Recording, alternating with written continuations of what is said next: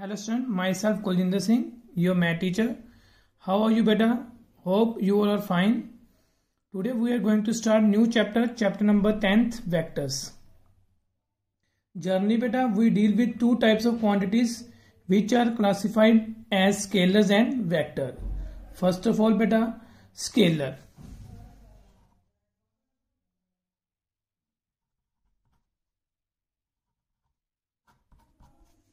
Beta a quantity which has only magnitude. A quantity which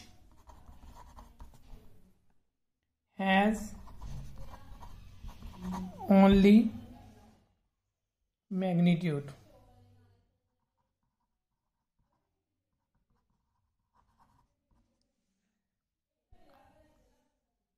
but is not related to any fixed direction in space. Is called a scalar. अगर बेटा, इसके पास just क्या है बेटा? आपके पास एक quantity है जिसमें जस्ट मैग्नीट्यूड ही है। उसकी कोई डायरेक्शन किसी डायरेक्शन के रिलेट नहीं है तो उसको क्या बोलेंगे बेटा? Scalar for example mass length volume etcetera Second one is beta vector, a quantity which has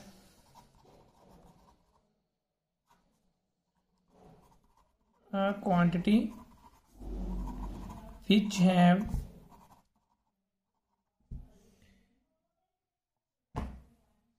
which has magnitude as well as direction तो ऐसी क्वांटिटी बेटा जिसमें मास भी और सॉरी मैग्नीट्यूड भी हो और डायरेक्शन भी हो तो उसको क्या बोलते हैं बेटा? Vector for example force force is a vector velocity is also a vector and simply बेटा, अगर मान लो मैंने कोई बॉल है, किसी को पास करनी है तो वो भी क्या है बेटा वेक्टर मुझे पता है कि मैंने किस डायरेक्शन में फेंकना है और कितने ही मैग्नीट्यूड के साथ फेंकना है बॉल को। तो वो क्या है बेटा वेक्टर क्लियर तो ये बेटा दो क्वांटिटीज की बात हो रही है। तो अब वेक्टर बेटा वेक्टर में क्या है बेटा, जो जर्नल बेसिकली है, वो क्या है बेटा initial point to terminate point मान लो ये मेरे पास पी पॉइंट है, ये क्यू है। तो पी टू क्यू अगर बेटा, हम जाएँगे तो पी क्यू वैक्टर तो इसको इनिशियल पॉइंट बोल रहे हैं, इसको बेटा क्या बोल रहे हैं? टर्मिनेट पॉइंट तो जो टू एंड होंगे बेटा, उसको हम इंटरचेंज नहीं कर सकते। अगर मैं इंटरचेंज करूँगा, क्यू? पी तो वो एक न्यू वेक्टर बन जाएगा। मीन्स ये दोनों सेम वेक्टर्स नहीं है। तो इसमें बेटा लेंथ है मतलब इस वेक्टर में। तो मैं दो क्वांटिटीज का बेटा इसमें यूज़ करूँगा, एक लेंथ और एक स्पोर्ट और एक बेटा सेंस लेंथ क्या बेटा? Length of directed the line segment PQ is a distance between P and Q. तो जो बेटा पी क्यू जैसे ये है पी टू क्यू ठीक है? इसको क्या बोलते हैं? लेंथ सेकेंड है बेटा support the line of an unlimited length of which is directed line segment is a part is called support तो पी क्यू की डायरेक्शन में बेटा लाइन को क्या बोलेंगे? स्पोर्ट नेक्स्ट वन है बेटा आपके पास. Sense The sense of the directed line segment is from its initial point to its terminate point. तो सेंस बेटा यही means direction P to Q अब बेटा कुछ टाइप है मेरे पास वेक्टर्स की तो मैं वेक्टर को किस फॉर्म में लिखता हूँ बेटा? ए वेक्टर इस फॉर्म में बेटा ऊपर एरो लगाना ज़रूरी है वेक्टर्स में।